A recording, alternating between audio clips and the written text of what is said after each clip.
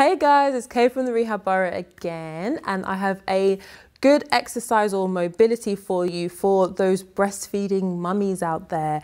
You're going to be sitting in a nice hunched over position, well not nice, but a hunched over position and we want to kind of encourage you to open your chest and unround those shoulders. So what we're going to do is we're going to start with a hand out in front of us and we're going to stretch the lower back out and then we're going to open the chest open wide and feel that stretch right in this anterior portion here in that pec section and close round and round and open out wide. Make sure that you're breathing as well.